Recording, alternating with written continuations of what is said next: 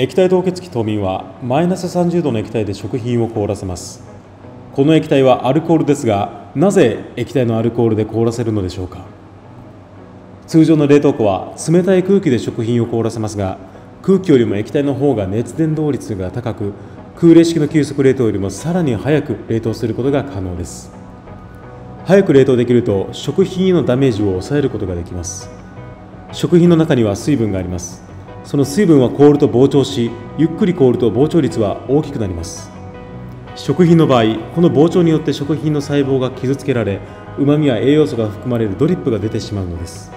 しかし冬眠は素早く凍らせられるため氷の膨張率が非常に小さく細胞を傷つけづらいという特徴があります。ドリップを抑えることができるためまるで冷凍していないかのような鮮度感を維持することができます。